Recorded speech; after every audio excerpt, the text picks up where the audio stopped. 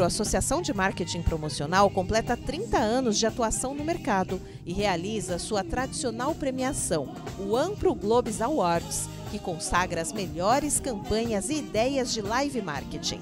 O evento também foi palco de painéis que discutiram sobre transformação digital, novas perspectivas para profissionais de comunicação e sobre criadores e influenciadores. 30 anos de uma entidade que representa um setor que é um dos principais setores econômicos e ao mesmo tempo foi o primeiro a parar né, na pandemia e um dos últimos a voltar. Estou muito feliz de representar uma entidade que hoje agrega mais de 200 empresas espalhadas por todo o Brasil e que elas mostraram numa única palavra é, que é muito importante para a gente, que é a reinvenção é a persistência. Então a gente percebe claramente o lançamento de novos serviços, de novos produtos, novas formas de negociar, novas formas de fazer ações, de criar projetos. Muitas vezes no coletivo, mudando o escopo, de, escopo da estrutura. Então está muito bacana. Eu vejo criatividade inovação.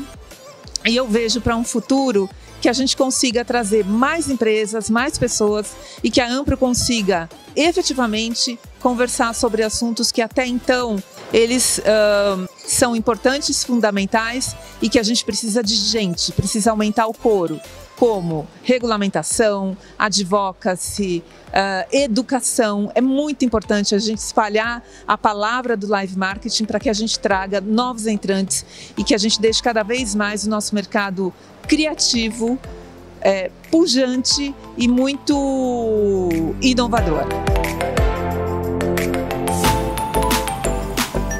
Prêmio possui 17 categorias, além do Grand Prix de Criatividade, Grand Prix ESG, que teve a finalidade de reconhecer campanhas com impacto social, e a Agência do Ano.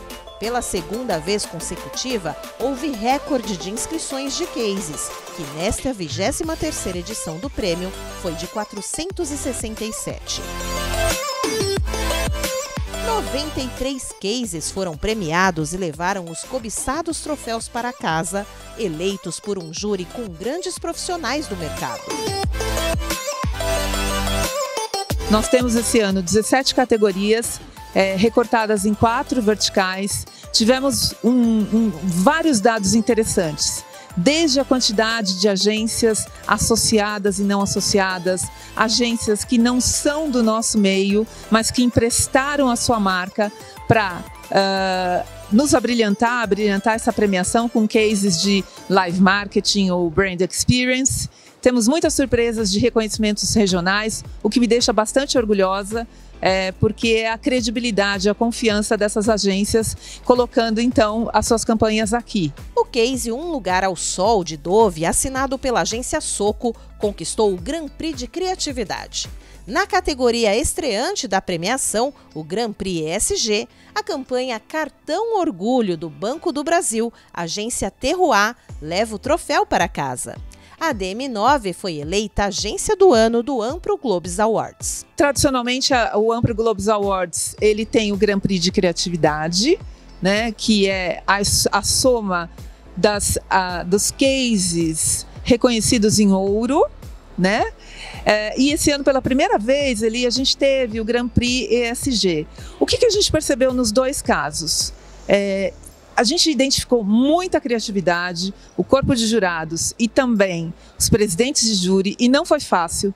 Para vocês terem uma ideia, uh, os dois presidentes de júri não puderam participar da escolha do Grand Prix de Criatividade, porque tinham envolvimento, as campanhas dos seus respectivos grupos tinham envolvimento. Então, a gente abriu uma discussão para mais de 60 jurados e a gente percebeu muito forte que o olhar ele estava 100% pautado em além da criatividade, numa boa qualidade de execução, mas essencialmente qual é o impacto que as duas campanhas promoveram para a sociedade. E isso nos dá muito orgulho, porque são cases dignos, absolutamente dignos de passarem por qualquer premiação internacional.